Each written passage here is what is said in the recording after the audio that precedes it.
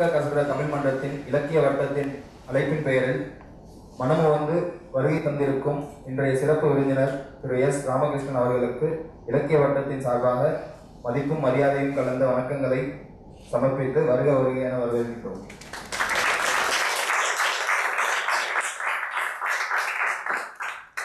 எதையெல்லாம் எங்களுக்கு தடையாக இருந்ததோ எதெல்லாம் நாங்கள் வந்து ஜெயிக்க முடியாது நினைச்சோமோ எல்லாத்தையும் ஜெயிக்க ஒரு தலைமுறை வந்திருக்கும் போது பார்க்க சந்தோஷமா இருக்கு.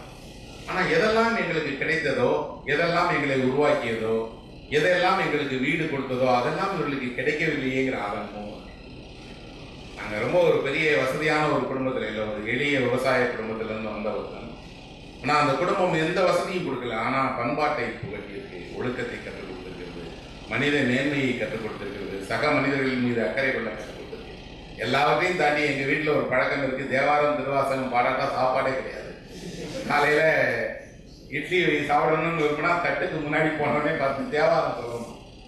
திருவாசகம் சொல்லணும். அப்போ அந்த வயசுல கோபமாக தான் இருக்கும். எதுக்கு தேவாரம் சொல்லணும்? ஏன் திருவாசகம் சொல்லணும்? திருப்பாவை படிக்காட்டா என்ன? ஆண்டாள் பாத்திரம் படிக்காட்டா என்ன? கம்பராமாயணத்திலிருந்து பத்து பாட்டு சொல்லி என்ன நடக்க போகுது அப்படின்னு கோபமாக இருக்கும்.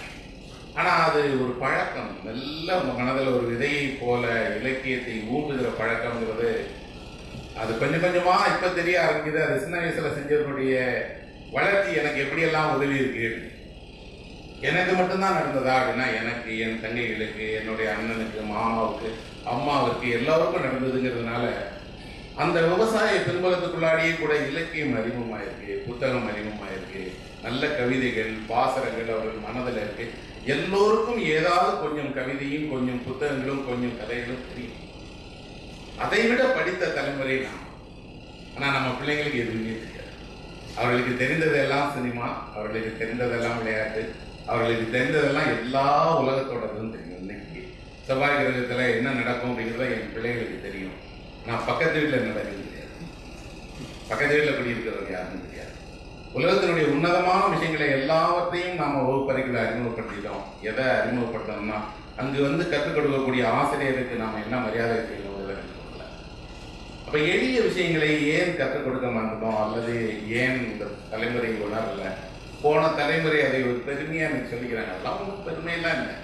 பண்பாடு என்ற ஒன்று வந்து வீட்டில இருந்து தொடங்கியதால சமூகத்திடம் இருந்தது வீட்டில் இருந்தது இந்த மாற்றங்களுக்கு எல்லாவற்றையும் தாண்டி வீடு கற்றுக் கொடுத்ததுங்கிறதுனால நமக்கு வந்துருச்சு அப்போ அப்ப இந்த தமிழ் இலக்கியத்தை எங்கிருந்து பேசலாம்? அல்லது ஏன் தேவை? அதை ஏன் புரிஞ்சுக்கிடப்படலை நான் ஒரு கல்லூரிக்கு போல உங்களை போல ஒரு கல்லூரிக்கு போனேன். அந்த மாணவர்கிட்ட கேட்டேன் தமிழ்நாட்டுக்கு தமிழ்நாடுங்கிற பெயர் எப்படி வந்தது? அப்படின்னு கேட்டேன். அவர் சொன்னேன் எப்பவுமே அப்படிதானே இருக்கு. எப்பவும் அப்படி இல்லையே. இப்போ கொண்டாடுகிறோம் இந்த வாரம் நீங்க செய்தித்தாள்களை பார்த்தீங்கன்னா தெரியுது அறுபதாவது ஆண்டு. அப்போ ஒருத்தருக்கு தோணும் ரெண்டாயிரத்தி ஐநூறு வருட பாரம்பரியமான தமிழ்நாடுன்னு சொல்கிறோம் அறுபதாவது ஆண்டு விழா கொண்டாடுறாங்களே. தமிழ்நாட்டுக்கு தமிழ்நாடுங்கிற பேர் வந்ததுக்கு பின்னாடி என்ன வரலாறு இருக்குது அப்போ பேர் வராட்டம் தமிழ்நாட்டுக்கு என்ன பேர் இருந்தது சேர சோழ பாண்டியர்கள் ஆளுகிற போது தமிழகத்துக்கு என்ன பெயர்? தமிழ்நாடு தானா தமிழகமா? என்ன தெரியாது சரி வெள்ளைக்காரர்கள் ஆளுகிற போது தமிழ்நாட்டுக்கு என்ன பெயர்? நாலு சேர்ந்து மெட்ராஸ் ராஜஸ்தானியா இருந்தது இல்லையா? இந்த மெட்ராஸ் பிரசிடென்சின்னு சொல்லப்படக்கூடிய இந்த மெட்ராஸ் பிரசிடென்சியில் என்ன இருக்குது இப்போ எளிய விஷயங்கள் எல்லாமே கூட நம்ம பிள்ளைங்களுக்கு அறிமுகம் ஆகலை. மாணவர்களுக்கு போய் சேரலை.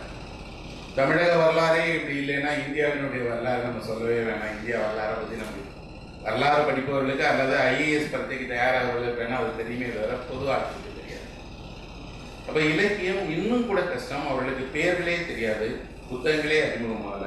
இன்னும் சொல்லப்போனா அவங்களுக்கு நிறைய அமெரிக்காவில் இருக்கக்கூடிய முக்கியமான எழுத்தாளர்கள் தெரியுது. பொழுதுபோக்கு எழுத்தாளர்கள் தெரியுது. தமிழில் இருக்கக்கூடிய திருக்குறள்லேருந்து ஏதாவது ஒரு திருக்குறள் கேட்காது தெரியும். நான் ஏதாவது ஒரு மொழியில உலகத்துல அந்த மொழியினுடைய ஒரு புத்தகம் ரெண்டாயிரத்தி ஐநூறு வருடங்களாக ஒரு அச்சரம் கூட மாறாம அதே தமிழ்ல அதே பொருள்ல அதே வார்த்தைகளால உச்சரிக்கப்பட்டு வருதா அப்படின்னா அது தமிழை தவிர வேற எந்த மொழியில இருக்கு? நீங்க யோசிச்சு பாருங்க. நான் ஆங்கிலம் படித்தேன். ஆங்கிலோ சாக்சன்ஸில் தானே இருந்தது. மாடர்ன் இங்கிலீஷ்க்கு அதுக்கப்புறம் ரெண்டரிங் தானே பண்ணாங்க பழைய சாசர் எல்லாம் படிக்கணும்னு நினைச்சீங்கன்னா அதெல்லாம் அந்த ஆங்கிலோ சாக்சனில் எழுதப்பட்ட கவிதைகள் தானே. கிரீக்ல எழுதப்பட்டிருக்கு. மாடர்ன் கிரீக் வேற ஓல்டு கிரீக் வேற. அப்போ நல்லா தெரியுது அந்த மொழி காலத்துக்கு மாறி இருக்கு ஆனா வள்ளுவர் எழுதப்பட்ட கவிதையை வள்ளுவர் எழுதுகிற காலத்தில் ஒருவர் எதிர நின்று வாசித்தானா அதே சொல் அதே பொருள் இன்னைக்கு நானும் வாசிக்கிறேன். மரபு இலக்கியத்தில் என்ன இருக்கும்? எழுதியவர் யார் அப்படிங்கிறத பொறுத்து அந்த கவிதைக்கு ஒரு மரியாதை இருக்கும் அவர் யார்? இவர் எழுதியிருக்கிறாருன்னா இவர் எழுதிய கவிதைக்கு இப்படி ஒரு மதி மதிப்பு இருக்கும். ஏன்னா அந்த எழுதிய நபர் அந்த கவிதையை தீர்மானிக்கிறார். அல்லது ஒரு நாடகத்தை எழுதிய நபர் அந்த நாடகத்தை தீர்மானிக்கிறார். ஆனால் நவீன இலக்கியத்துல எழுதியவர் அல்ல. அந்த பிரதி தான் தீர்மானிக்கிறது. யார் வேணாலும் எழுதியிருக்கலாம் ஆனால் அவர் என்ன எழுதியிருக்கிறாருங்கிறது தான் முக்கியம்.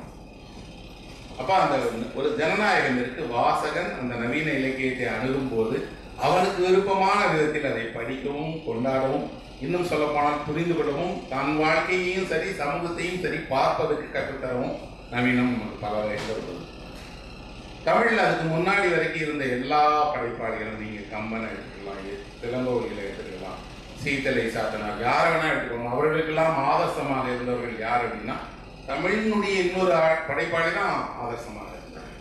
கம்பனுக்கு பின்னாடி வந்த எல்லோருக்குமே கம்பன் தான் ஆதர்சம். கம்பன் அளவுக்கு நான் எழுத முடியும்னா நான் வந்து ஒரு மகத்தான கவி அப்படிங்கிறது தான் அவர்களுடைய அளவுகோல். பாரதிங்கிற ஒரே ஒரு படைப்பாளி மட்டும்தான் முதல் முதல்ல இந்த அளவுகோலை உலக தழுவிய அளவுகோலாக மாறினா ஷெல்லியாக தான் மாற விரும்புகிறேன்னு சொல்லுவோம் நான் கம்பனாக மாற விரும்பலை இளங்கோடிகளாக மாற விரும்பலை செல்லியாக மாற விரும்பல. ஷெல்லியுடைய தாசனாக இருக்கிறேன் நான். கம்பதாசன் இருந்த காலகட்டத்தில் செல்லி தாசன் ஒருத்தன் வர்றாரு அப்படின்னா நாம எதை சொல்லுகிறோமோ உலக தழுவிய சிந்தனை ஒருவரை பாதிக்குதுங்கிறத அதை பாதித்ததுக்கான முதல் மனிதனாக நான் பாரதியை கருதுறேன் ஏன்னா அவர் தான் இந்த நம்முடைய எல்லைகளை விஸ்தாரப்படுத்துகிறார் தமிழ் அல்ல அகில உலகத்துக்குமான ஒரு இலக்கியம் இருக்கு அதுல ஒரு சாதனை நடந்திருக்கு. அந்த சாதனையாளன் தொட்ட உயரங்களை நான் தொடர விரும்புகிறேன் அப்ப ஷெல்லி போல எழுதணும்னு ஒருத்தர் விரும்புறாரு. ஷெல்லி உருவாக்கியது போல கவிதைகளை தமிழ்லையும் கொண்டு வரணும்னு நினைக்கிறாரு. ஒரு நவீன கவிதைங்கிற ஒரு கவிதை வடிவத்தை கை கொள்றார். கண்டிப்பாக நீங்க எல்லோருமே ஒரு முறையாக நீங்கள் பாரதியினுடைய வசன கவிதைகளை மட்டும் பாரதியினுடைய புகழ்பெற்ற கவிதைகள் நிறைய திரைப்பட பாடல்களாக வந்திருக்கு. வேற வேற இடங்களில் இசைத்தட்டுகளில் கேட்டுக்கிறோம். ஆனா வசன கதை கவிதை எப்படி? இல்லை. வசன கவிதை வந்து ஒரே ஒரு பக்கத்தை எடுத்துக்கொண்டு அன்றாட நீங்க படித்தீங்கன்னா போதும். அது தரக்கூடிய இன்பத்துக்கு நிகழே ஏன்னா முதல் முறையாக ஒருவர் வந்து இருட்டை பார்த்து வெளிச்சத்தை பார்த்து ஒளியை பார்த்து எல்லாவற்றையும் பார்த்து கவிதை பாடுகிறார். அப்படி பாடும்போது நம்ம அதை உதாரணம் சொல்லி ஊமை சொல்லி தானே பழக்கம்? இவர் புதிய புதிய விதமாக அதை அவர் என்ன சொல்றாரு? இருள் என்பது குறைந்த ஒளி அப்படின்னு ஒரு சொல்ல இருக்கிறார் யோசித்து பாருங்க. அறிவியல் என்ன சொல்லுதோ அதை தான் ஒருத்தர் கவிதையிலையும் சொல்றாரு. இருள் அப்படின்னு ஒன்று முழுமையா இருக்காது. அதுக்குள்ள வெளிச்சம் இருக்கு. ஆனா முழுமையான வெளிச்சம் குறைந்த ஒளி இருள் என்பது குறைந்த ஒளின்னு பாரதியாரோட ஒளி. அப்ப அவருடைய அந்த நவீன கவிதையிலிருந்து தான் நவீன இலக்கியத்தினுடைய அந்த முதல் முகங்கள் முதல் அடையாளங்கள் நம்ம தொடங்க இப்போ பாரதி எடுத்துட்டா பாரதி தான் வாழும் காலகட்டத்திலேயே தன்னை சுத்தி என்ன நடக்குங்கிறத எல்லாவற்றையும் பார்த்துட்டார் இந்தியாவில் என்ன நடந்திருக்கு உலகத்தில் என்ன நடந்திருக்கு யோசித்து பாருங்க இது வந்து ரஷ்ய புரட்சியினுடைய ஆண்டு. ரஷ்ய புரட்சி நடந்து நூறு ஆண்டுகள் அதை ஒட்டி கொண்டாட போகிறாங்க இந்த ரஷ்ய புரட்சியை வாழ்த்தி இந்தியாவில் எழுதப்பட்ட முதல் கவிதை பாரதியுடைய கவிதை தான். ஆஹா என்று எழுந்தது வா யுக புரட்சி அப்படின்னு ஒருத்தர் கவிதை எழுதுறாரு. அப்படின்னா ரஷ்யாவில் ஏதோ ஒரு புரட்சி நடக்குதுன்னா தமிழ்நாட்டில் ஒரு கவிஞருக்கு தெரியுது. அதை வாழ்த்தவும் வாழ்த்தும் போது வெறுமனாக வாழ்த்தாம மா காளி கண் வைத்தாள் அப்படின்னு சொல்லுவாங்க அப்ப நம்ம ஊர்ல இருக்கக்கூடிய ஒரு கடவுளோட அருள் கூட அந்த புரட்சிக்கு இருக்குன்னு சொல்ற நம்மளோட சந்தோஷத்தினுடைய ஒரு பகுதியை அவங்களோட சந்தோஷத்தினுடைய பகுதியாக இணைக்க தெரிந்த ஒரு மனிதன் தான் பாரதி இப்ப தெரியுது பாரதியினுடைய லட்சியங்கள் உலகம் தழுவுனதா இருந்திருக்கு அவர் தான் வாழ்கிற காட்டத்துல அயர்லாந்துல நடந்த ஐரிஷ் போராட்டத்தை பற்றிய பத்திரிகைக்கு இங்க இருந்து சந்தா கட்டியிருக்கிறார். ஒரே ஒருவர் தான் இந்தியாவிலிருந்து அந்த பத்திரிகைக்கு சப்ஸ்கிரைப் பண்ணியிருக்காரு அது பாரதியார். நான் பாரதியார் ஒரு வசதியான மனிதரா? அவருக்கு ஒரு மிகப்பெரிய செல்வம் இருக்கா? செல்வந்தரா இல்லை. சாதாரணமாக ஒரு பத்திரிகையில தமிழ்லையும் ஆங்கிலத்திலையும் எழுத தெரிந்த வாசிக்க தெரிந்த ஒரு மனிதன் தன்னோட சிறகுகளை ஏன் இவ்வளவு பெருசா விதிக்கிறான் அப்படின்னா அவனுக்கு தெரியுது இந்த வானம் எல்லோருக்குமானது. நாம நினைப்பது போல நம்ம மரத்துக்கு மேல பறக்கிறது அல்ல நம்மளோட வாழ்க்கை. ஒட்டுமொத்த வானத்துல எவ்வளவு உயரத்துக்கு பறக்கலாமோ பறக்கலாம். எப்பவுமே நம் பாரதியை ஒரு பெரிய கழுகு போலதான் நினைப்பேன். கழுகுகள் மிக உயரமான இடத்துக்கு போகும். அங்க இருந்து அதனுடைய பார்வையில கீழே போற சின்ன பொருட்கள் முதல்ல தெரியும். குட்டி எலி ஒண்ணா கூட கழுகுக்கு தெரியும். ஆனா அது அடிக்கக்கூடிய சிறகடிப்பும் அதனுடைய கம்பீரமும் அது வந்து மரத்துல உட்கார்ந்து பார்க்கிற பார்வைக்கும் தெரியும். அது சாதாரண பறவை அல்ல. அதனுடைய தோற்றமே அதனுடைய கம்பீரமே அதனுடைய சிறகடிப்பை காட்டி கொடுத்துருது இல்லையா? பாரதியினுடைய கவிதைகள்ல பாரதியினுடைய எழுத்துக்கள்ல பாரதியினுடைய பார்வையில எல்லாத்துலேயும் அவ்வளவு ஒரு பெரிய சிறகடிப்பை நம்ம அவர்தான் அவர் தான் தமிழில் இருக்கக்கூடிய இந்த நவீன இலக்கியத்துக்கான முதல் முயற்சி கதவை திறந்துருக்கார் அவர் திறந்து விடுகிற காலத்தில் அது கவிதையை நடந்தது ஒரே நடையில் நடந்தது அவரே உரைநடை எழுதினார் கட்டுரைகள் எழுதியிருக்கிறாரு. ஆனால் அவர் ஒரு தன்னை ஒரு நாவலாசிரியனாக உரைநடை எழுத்தாளராக கருதவே அவர் காலகட்டத்திலேயே உலகத்தில் வேறு நாடுகளில் நாவல்கிற வடிவம் அறிமுகமாகி புகழ்பெற்று சிறுகதைங்கிற வடிவம் அறிவுமாகி புகழ்பெற்று